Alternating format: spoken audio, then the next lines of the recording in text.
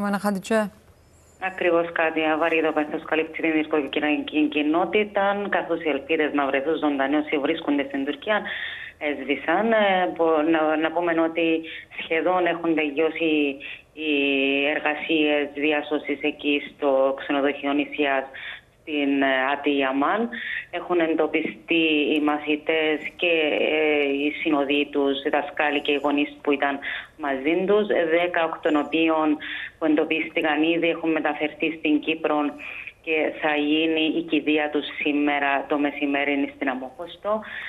Δυστυχώς δεν τα κατάφεραν κάτι όπως και πολλοί άλλοι ε, που δεν ε, κατάφεραν να γλιτώσουν από το φωνικό σεισμό που πραγματοποιήθηκε στις 6 Φεβρουαρίου στην Τουρκία.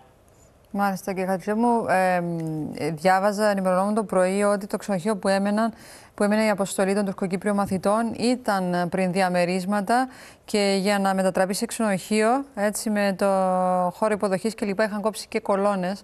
Έτσι ακριβώς κάτι. Δεν είναι κάτι. Ε, προ, ε, είναι γνωστό φαινόμενο ναι. στην Τουρκία αυτά τα πράγματα, Κάτια.